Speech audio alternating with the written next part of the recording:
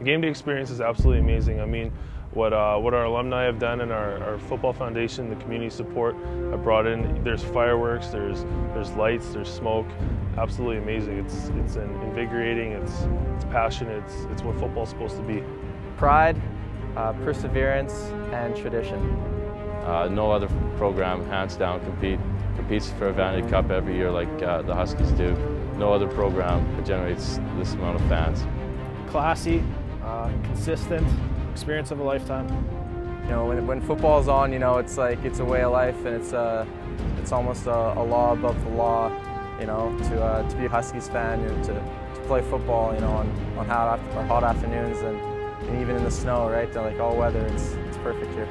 We pack these stands probably almost every game. Get a, about 5,000 people, and it's just it's just people care. Coming out of the dog's probably the best experience I've had in life so far. There's, you don't really have that any other feeling. You don't get it from anywhere else. So running out is awesome.